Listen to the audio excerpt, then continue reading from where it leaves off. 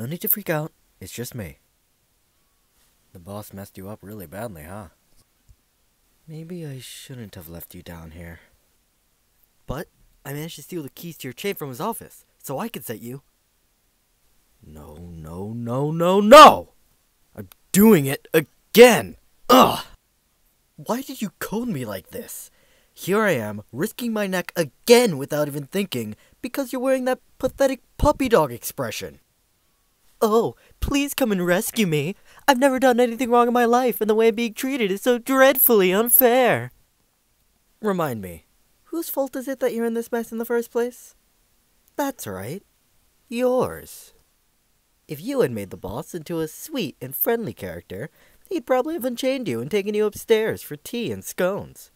But no, you wrote him as a sociopath with a penchant for sadism.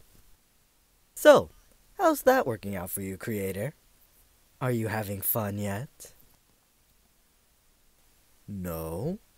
Oh, you do surprise me. it's not nice being the victim, is it?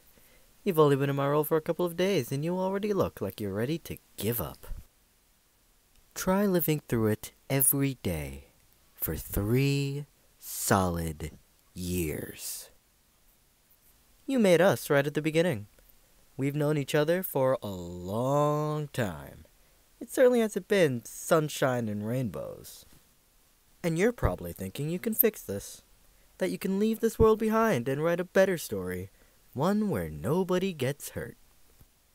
Well, here's the kicker. It's too late.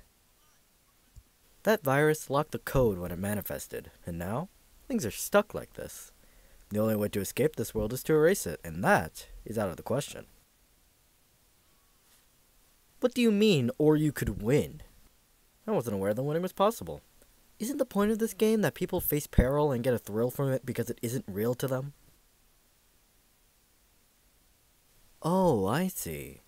The player makes choices, and if they make the wrong choice, they have a chance to die too. Good to know that you make your players suffer as much as your characters.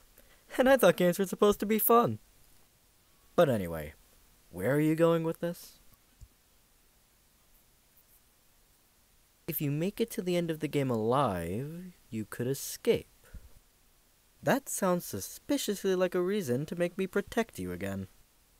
And even if you make it out, that doesn't mean I will.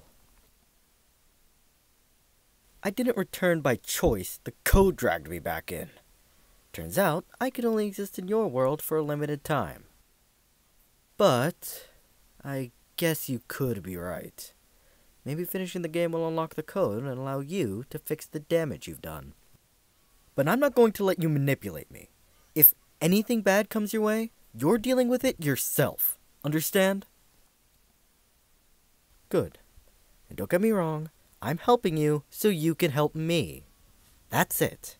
It's not because I like you or feel sorry for you, it's because you're the only one who can change things for the better. Since you're the one who screwed them up in the first place.